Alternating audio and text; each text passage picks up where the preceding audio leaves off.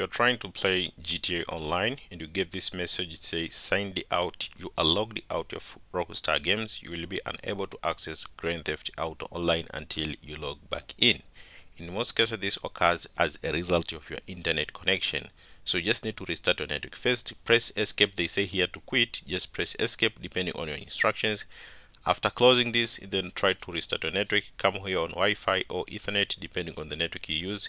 Simply disconnect it and then reconnect it back. And then try to restart your game on the launcher. Now I'm on Steam, just open Steam. If you're using the Rockstar Games launcher, open the Rockstar Games launcher. Then try to play it and check if the problem has been resolved. Now if you're still facing again the same problem, despite restarting your network, try changing your network. If your ISP sometimes may have issues, try to connect to other network. Like if you have a mobile hotspot or another Wi-Fi try to connect it.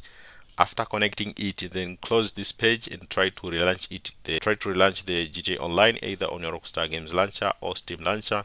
Try to play it with other net network and then try, to check if the problem has been fixed.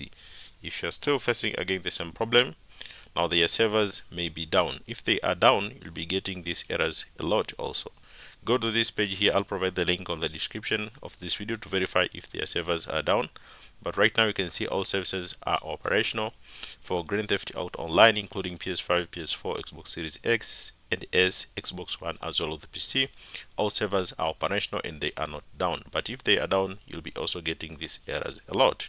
So try to restart your naked, try changing network and if it fails just try to look if their servers are down if they are down, you'll need to wait for a few hours and the issue will likely resolve by itself. Thank you so much for watching this video and see you next time.